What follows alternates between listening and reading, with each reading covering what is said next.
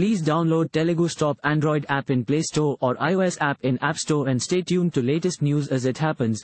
The Backward Classes Students Association demanded the state government to increase intake in BC government residential schools across the state as large number of BC students were not getting seats due to availability of limited seats in these schools.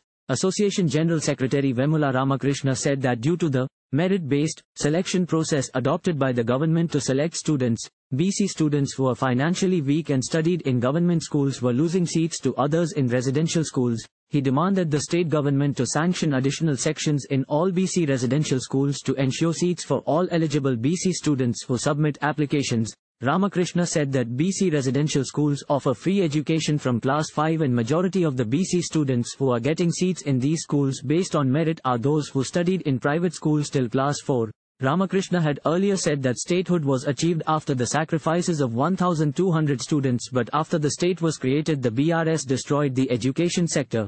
The BRS government had spent crores to construct the secretariat, collectorates and camp offices for the CM and MLAs but had failed to construct welfare hostels. Thank you for watching. Please subscribe to channel and click on bell for more daily videos.